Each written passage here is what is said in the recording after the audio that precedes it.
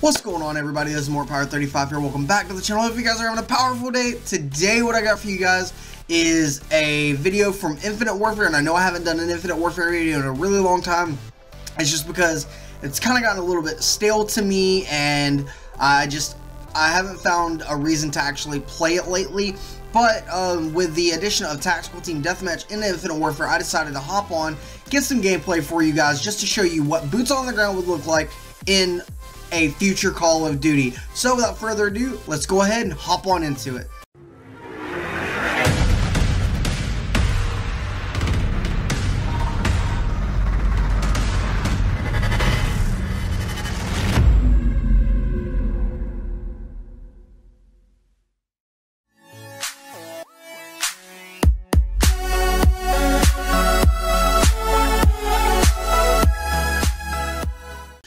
Guys, we're back with some tactical TDM.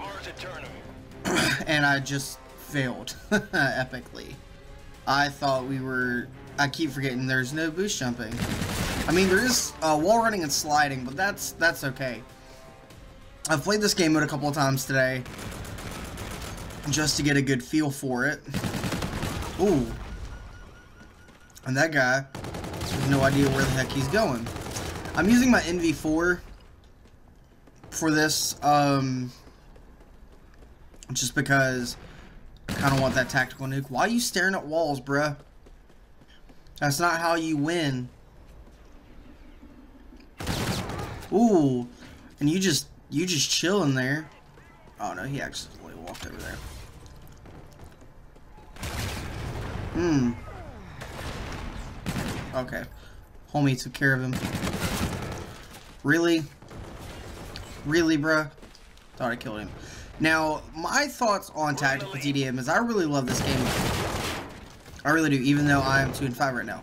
Um, I love this game mode. Um, one thing that I would say to Activision or Infinity Ward is keep it. Please, for the love of all things good for Call of Duty, please keep this game mode. And if we're going to have futuristic boost jumping stuff in the future, add this game mode to any other Call of Duty title. Heck, I would even be okay with Treyarch adding a tactical mode to Black Ops 3 as like a little mini patch. You know? Because this makes the game play so much differently.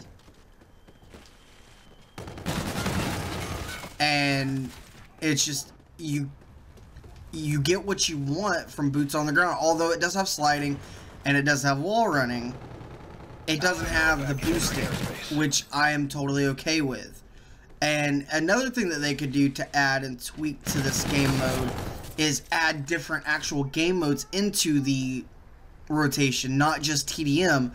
Make a tactical free-for-all, make a tactical domination, most importantly, make a tactical search and destroy.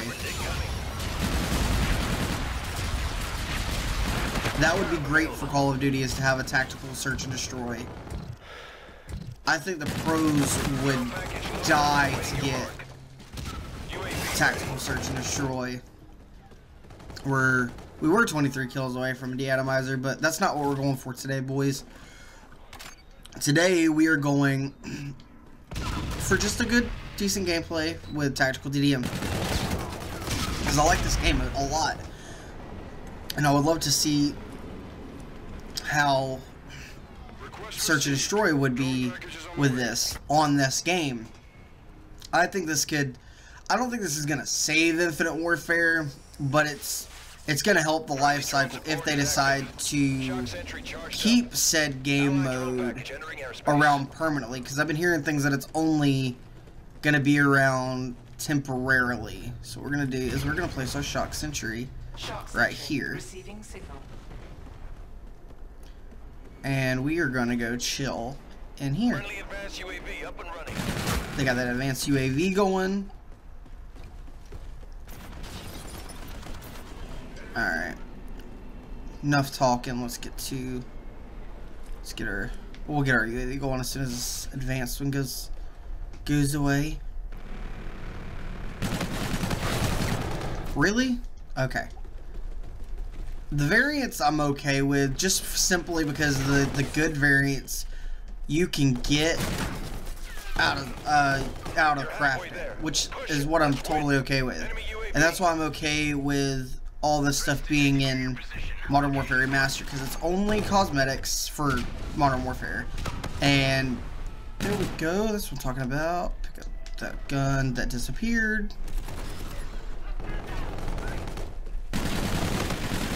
That not pick up that guy. But yeah, guys, so hopefully they can keep this around because I, I, really like this game mode and I've heard a lot of really good things from other YouTubers and other pro players about Tactical TDM and it would be nice if they added uh, if they did do a tactical SND if they could add it to competitive because that would be that would be great to have that in competitive. I think the pro players would like that a lot. Enemy UAV in your vicinity. Oh dang. What is going on here? I wonder if I can get up on this car. If I can. No, I can't. Okay. Get off me, son. We ain't having none of that. But I think this is a step in the right direction. And I think this should this should be something if we continue with boost jumping and everything in the next Call of Duty that they should continue to implement into future Call of Duties. I'm gonna go ahead and use my Scarab. Copy, Scarab Oh. He destroyed my, my scarab, so I'll kill him. Oh. The one thing that I feel like the NV4 doesn't have is it doesn't have very good damage. Because, like, I feel like it's taking me, like, five shots to kill people. But I guess you could use the K-bar to balance that out. But this guy's dropping me, so, uh, I mean, I'm probably just thinking too much, but... Hopefully, Activision listens to its community and keeps Tactical TDM